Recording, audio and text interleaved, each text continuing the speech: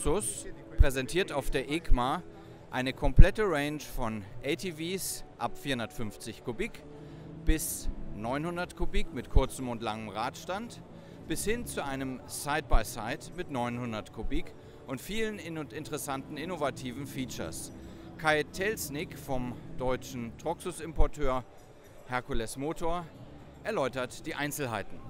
Hier haben wir die Dune 900 als Langversion mit Voll-LED-Scheinwerfern 75 PS. Und hier haben wir die Kurzversion von der Dune 900, die auch Anfang des Jahres auf den Markt kommen wird. Hier haben wir die ganz neu designte 590er. Ähm, dieses Fahrzeug ist von Kiska designt.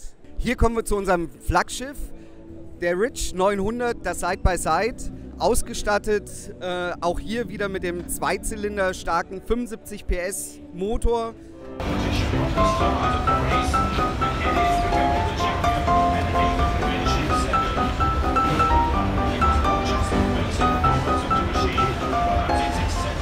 Mit dem XR10S präsentiert Koso den Nachfolger von seinem Million Seller, der zigtausend Mal in ATVs und Quads verbaut ist. Wie viel genau? 24 Millionen. Auch ansonsten hat Koso auf der ECMA in Mailand eine ganze Menge zu präsentieren. Access Motor äh, präsentiert auf der ECMA 2017 eine komplette Range. Der Boss von Access Motor erklärt uns jetzt, was hinter der Marketingstrategie steckt. Now you can see that we have a new range um, named Shed Sports, and uh, we present the 850 and also the 420 here. So now we, Michael explains the, the whole production lines. Einzelheiten erklärt Deutschland-Importeur Michael Leb. Danke sehr. Was gibt es Neues hier bei Access? Das Wichtigste ist, was steckt hinter dieser Idee, steht Sport. Es wird hier auf drei besondere Merkmale Wert gelegt. Zum einen der extrem durchzugsstarke Motor. Das zweite wesentliche Merkmal sind die neu hier sehr schön zu sehen äh, verbauten Stoßdämpfer. Drittes äh, Wesensmerkmal ist die äh, gesamte Bremsanlage, die wirklich für eine extrem gute Verzögerung sorgt. Alles in allem bewirkt dieses Gesamtpaket ein sehr, sehr sportliches Fahrverhalten. Aus diesem Grunde auch der Name Shade Sport. Hier sehen wir die brandneue Shade 420, beginnt bei einem Verkaufspreis von 5.600 Euro. Hier sehr schön zu sehen das 400er Aggregat. Äh, die 420er verfügt über einen elektrisch zuschaltbaren Allradantrieb, über einen großen Tank, eine Digitalarmatur, wie gesagt, also ein sehr komplett ausgestattetes ATV. Das neue SSV 850 Supercharge ist so gut wie fertig. Wir sehen hier den, das erste Vorserienmodell, äh, das Herzstück von diesem Fahrzeug. Hier sehr schön zu sehen, der eigens von Access Motor entwickelte 850 Kubikzentimeter Kompressormotor. Der Hersteller gibt hier Leistungsdaten an, die an die knappe 90 PS erreichen wird. Sehr schön von vorne zu sehen, auch die wie gewohnt äh, bereits im ATV verbauten Angel Eyes. Eine wichtige Frage, was wird das SSV 850 Supercharge am deutschen Markt kosten? Angepeilt sind auf jeden Fall ein Verkaufspreis unter 15.000 Euro. Heute schon genickt. Star auf dem Yamaha-Stand auf der EGMA ist natürlich das Dreiradmotorrad Nicken. Ja, hier auf der EGMA 2017 präsentiert sich mit Corvus. Bis zum vergangenen Jahr hieß das Ganze RBS. Der Hersteller startet jetzt mit neuem Markennamen und auch mit neuen Produkten. Bekannt ist der Adventure 900 mit äh, Zweizylinder Piaggio-Motor. Neu im Angebot ist eine Pickup-Ladefläche. Das Ganze nennt sich dann Terrain DX4.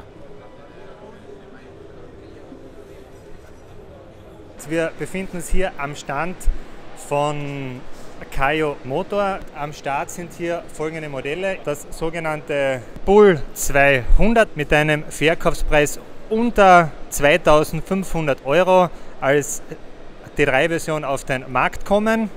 So, schon seit einem Jahr auf dem Markt ist unsere Fox 70, jetzt unter dem Namen Space 1 70, ähm, hier in einer neuen Farbe in Grün, in Deutschland bereits schon seit einem Jahr erhältlich. Die Mini 110 wird in Deutschland unter dem Markennamen Access Motor vertrieben. Der Hammer am CF Motostand ist in Europa designt worden, Kiska Design. Das ist der gleiche Designer, der auch für KTM gestaltet. Z10 heißt das Sport Side by Side, mit dem die Chinesen jetzt in diesem Segment antreten.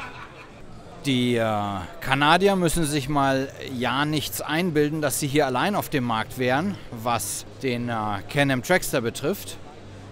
Das kann von den Formen her und von den ähm, Motordaten her, zumindest von der Kubikzahl her, auch CF Moto mit seiner neuen UForce 1000.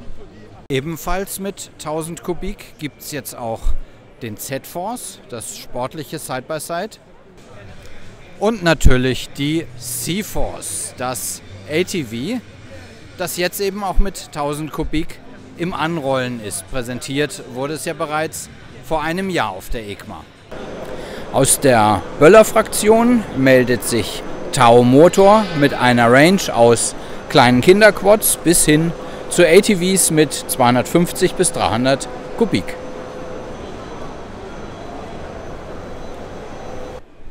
Wärmstens zu empfehlen sind die Heizhandschuhe von Capit.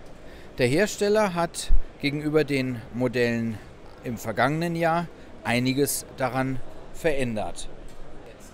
Speziell hat sich an den Handschuhen geändert, dass die speziell für Motorradfahren sind mit den Protektoren, Scheibenwischer sind innen verstärkt, die Wassersäule ist erhöht worden, die sind mehr wasserabweisend, wasserdichter, äh, die Batterie ist größer geworden, dass sie längere Lebensdauer hat, idem drei verschiedene Heizstufen.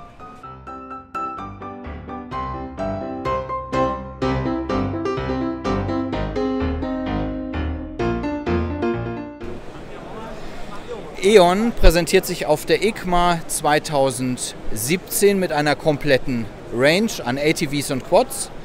Die Einzelheiten dazu erläutert Deutschland-Importeur Michael Leb. Sehr, sehr auffallend ist das gesamte Design der Crossland 600. Also dieses Fahrzeug hebt sich schon sehr von der Masse ab.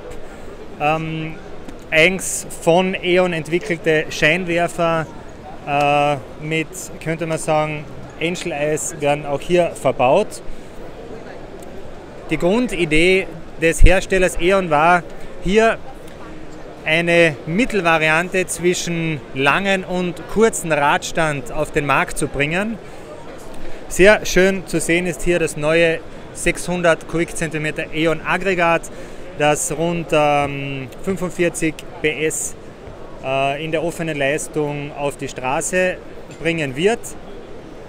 Weiter ist hier sehr schön zu sehen die sehr gut übersichtliche Digitalarmatur, ein elektrisch zuschaltbarer Allradantrieb, wie gesagt, alles, was das Herz eines ATV-Fahrers begehrt.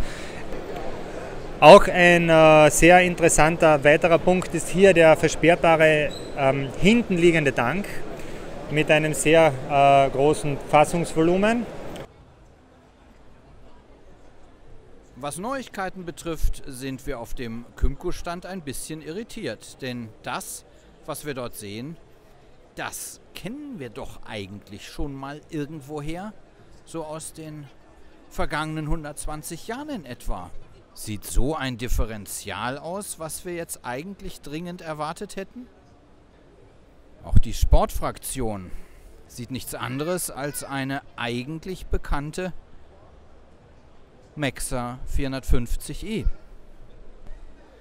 Die Side-by-Sides mit 450 und 700 Kubik, die haben wir doch auch schon mal irgendwann gesehen.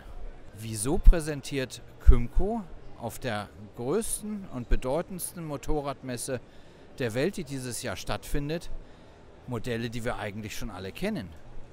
Auf dem Adiva-Stand haben wir neben den bedachten Dreiradrollern auch ein recht interessantes Fahrzeug entdeckt. Es hat vorne ein Rad und hinten zwei und eine Ladepritsche.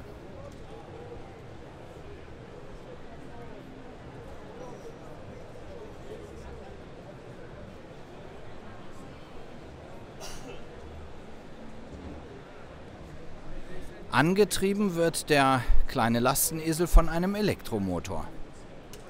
Nach einem Jahr Wartezeit haben wir endlich das Excalibur XL zur Verfügung. Es ist ein 5 Zoll Navigationssystem mit einem sehr guten Einstiegspreis von 250 Euro.